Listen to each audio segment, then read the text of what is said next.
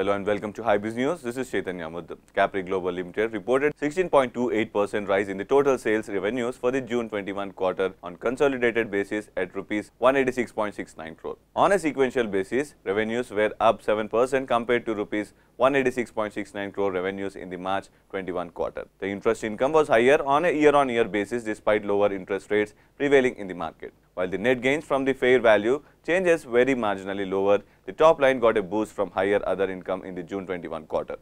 Net profit for the June 21 quarter was up 15.84 percent year on year at rupees 45.93 crore as top line improved year on year albeit to a lesser extent on a sequential basis. While interest income was higher, even the interest costs were relatively higher. However, the company gained from the lower impairment provisions in the quarter.